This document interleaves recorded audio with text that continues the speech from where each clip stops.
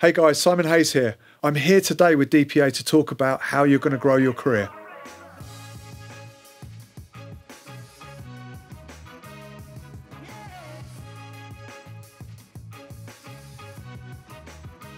I think that anyone who ends up being a production sound mixer has fought pretty hard to get there. I think we're all potentially on the edge of being obsessively compulsive about things because guess what? It's sound. Um, very few people care about it as much as we do, and uh, we are left to our own devices a lot on a film set. So, part of that is our sound kit, and it's what enables us to do the job properly. And what I can tell you from day one is that I always prioritized having a really, really good sound kit where I wouldn't have to compromise my workflow on set. Um, I would always have everything that I needed. So for my first few years, I literally spent, you know, every spare penny on my kit, and um, you know, my kits, my, my my sound kit took priority, and my microphones took priority. And what I would say is, is that if you're having to compromise the recordings that you're making due to lack of kit, then you're potentially not doing yourself justice. And I saw buying the kit that I needed and allowing myself to be able to make the creative choices on the set rather than being technically bound by the lack of kit that I had, I found that to be an investment in my future career. And that's what it was. It was certainly an investment in my future career. And every single time I make a movie, I'm still buying more equipment. I'm still putting a certain amount of my equipment uh, rental money back into making sure that my kit is as up to date as it can possibly be.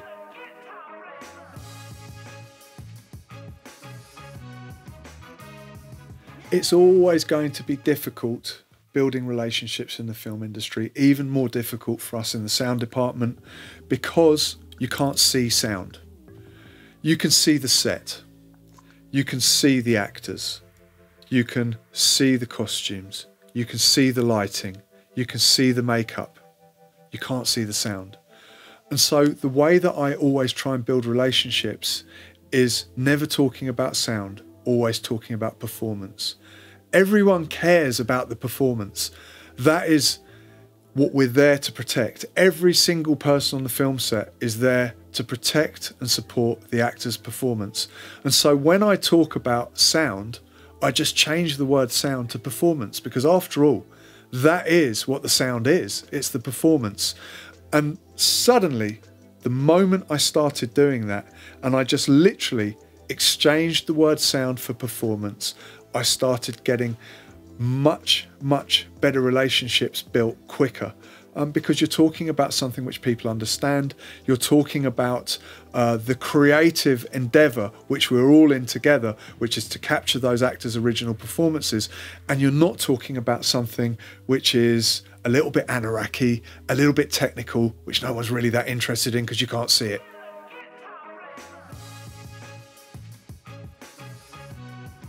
what I'm trying to do is to learn all of the time. I'm trying to assess my own performance and look at where I was weak, where I was strong.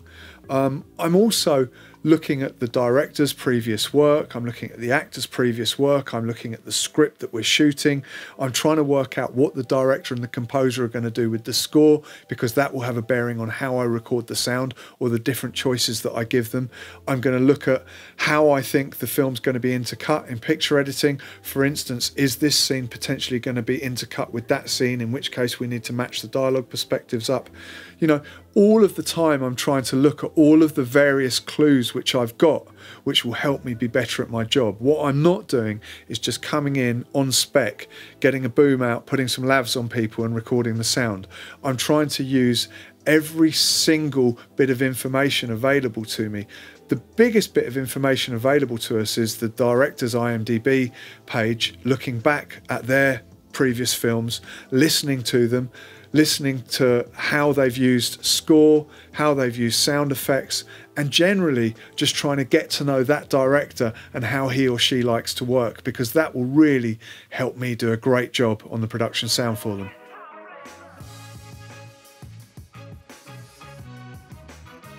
you know, it's really important that we don't just see ourselves as uh, as the sound department, that we see ourselves as part of the filmmaking team. You know, we're collaborating with all of the other HODs.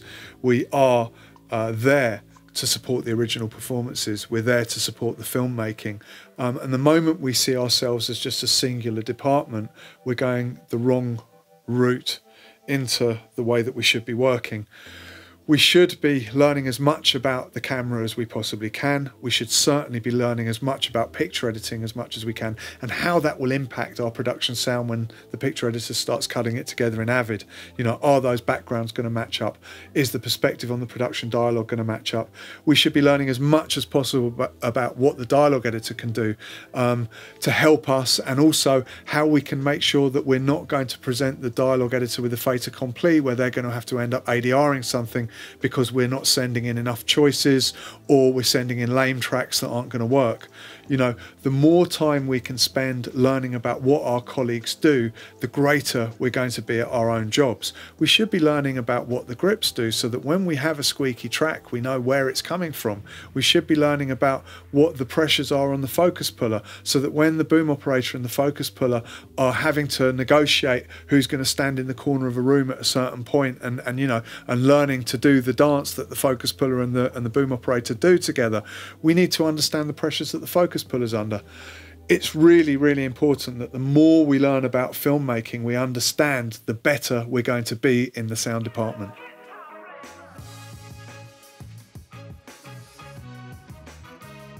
The thing that you can never do is say no.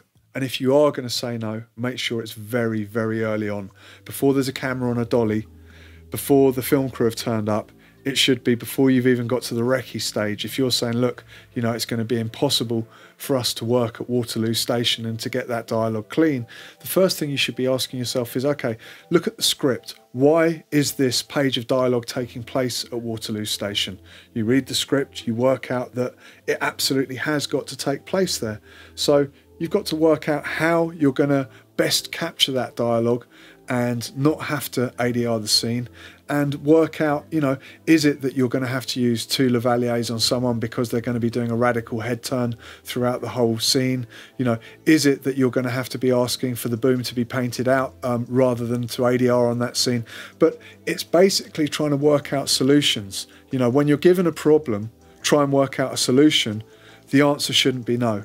Um, you know, obviously, rules can be broken. There, there have been times in my career where I've said no, but the more films I do, the more experienced I get, the more I realise that saying no just damages my career and my reputation.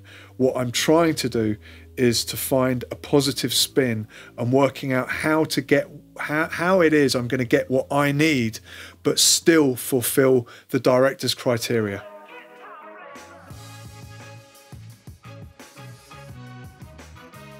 What I'm there to do is to give the director that I'm working with confidence. Confidence that the sound department is there to capture their script. Confidence that the sound department is there not to be a hindrance, to, but to be a support, to be a rock solid support for their filmmaking endeavours. Confidence that whatever they throw at me and my department, we're going to have a solution and we're going to be able to handle it.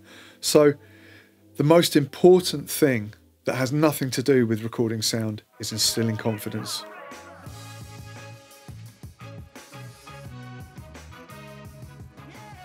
There isn't a one size fits all. What I think that assistants have to do is you've got to follow your instinct. You've got to follow your ambition. You've got to follow where you want to be in your career. You know, if you desperately want to be a production sound mixer really quickly, then you can fast track yourself and you can kind of, you know, just do a couple of years in each position. But understand that when you do become a production sound mixer, you're potentially going to be more limited in the amount of experience you've got. How will that manifest itself in your career and, and on the set? It will mean that when you're presented with difficult scenes to record or difficult situations, to negotiate on a film set, you're going to have less experience to do that because you didn't spend as long as an assistant. So I would say that you've got to follow your instincts to a certain extent, I think that it's really important to work with different people. But if you click with a specific person or a specific team and they uh, keep inviting you back, then obviously you're doing a great job. One thing that I would say about my boom operator, Arthur, is he always saw boom operating as a creative endeavor.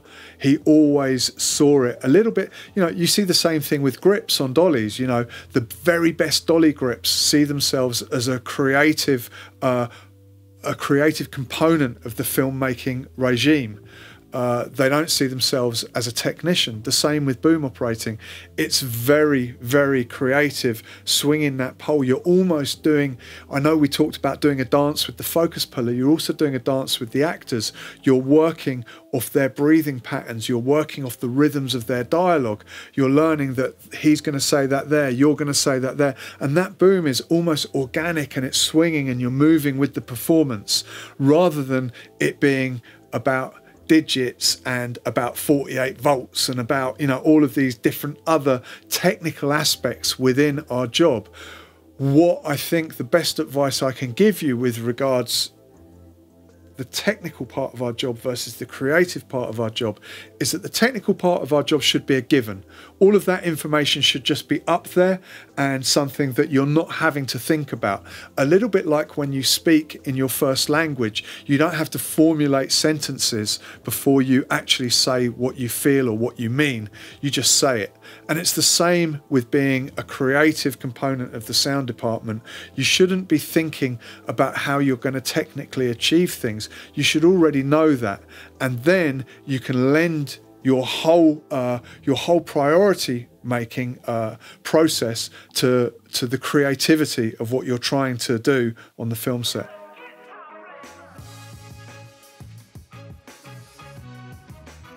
So early on in my career, I started doing films through people that I worked with on short films, so they would then invite me to come and do their feature films. As I got a little bit more experienced, I started getting asked to go in for interviews for films, which were new to me, where you would go in and you sit with a producer and a director and they'd interview you. And I realised that this was a huge, huge part of getting films for people that you hadn't worked with previously and I tried to work out how I was going to come across, how I was going to talk about sound without it being boring, without it making me seem like an anorak. And again, what I tried to do was to talk about the creative aspect. And my advice to anyone watching this is when you're interviewing for a job, whether it's a feature film or a TV show or even a commercial, don't talk about the technical aspects. No one wants to know about the technical aspect. It's a given that you're going to do a good job technically because guess what? They've invited you in for an interview. Try and talk to them about what their vision is. Try and talk to them about the creative side of what you're all trying to achieve. Try and talk to them about, in broad brushstrokes, about how you do your job, but don't talk to them about whether you're going to use a DPA 4071 or, or, as a lav or a 4061 because guess what? They really don't care. What they want to know is that you're going to make the best choice for that scene with the lav that you're going to put on. And the other thing that I would say is is don't make broad statements in interviews. I can remember situations where I said, "Well, yes, we we mainly use the booms, and I have two boom operators, and you know we very rarely use radio mics." And I've turned up on a film, and guess what? The way that the director is putting shots together, it's actually it's a radio mic film, and we've had to use radio mics on almost every scene. And you know, and, uh, and I've had directors say to me, "But I thought that you only used the booms." So you know, one of the things that I would say is is don't box yourself into a corner talking about your workflow. Understand that you're potentially going to have to work within the confines of what you're presented with on the film set. So stylistically, try not to talk about your style because it may be that the style that you're talking about isn't going to fit in with the way that the director, the DP, and the picture editor are going to make this movie. Um, so try and just get as much information from them and, and you know be genuinely excited about their vision for the film get as much information as possible about how they want to make the film um, and let them talk loads because no one wants to hear the sound mixer talking technically about how he's going to record a scene. As I say, that's something which, apart from other sound mixers and people in the department, they don't need to, to know about that. What they need to know is that you're going to do a great job and that you're listening to them and that you want to be a part of the collaborative team to help them make their movie.